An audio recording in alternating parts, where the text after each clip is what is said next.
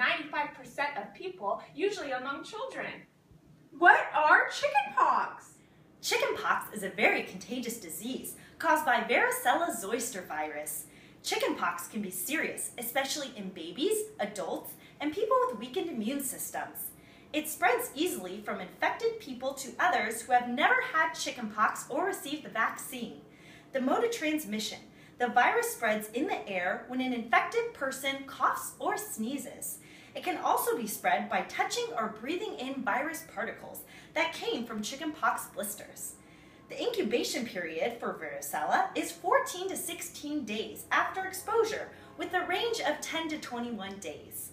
Chickenpox is a viral infection that causes an itchy blister-like rash.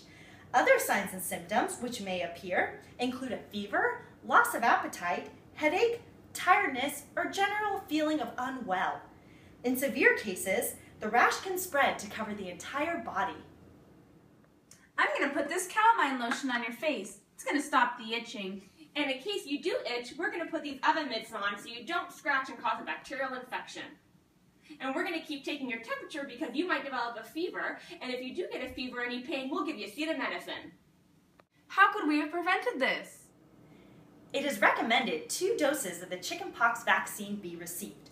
Two doses of the vaccine are about 98% effective at preventing chickenpox.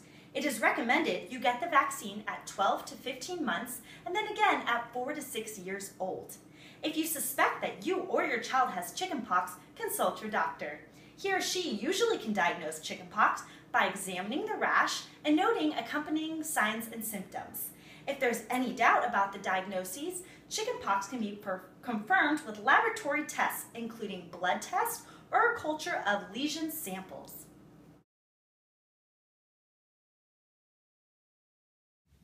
And now you can go back to school. Thanks, Mom and Mommy. I'm cured. Here's a little bit of old school for you. That goes a little something like this. Tried to be the flyest kid in the block, the popular one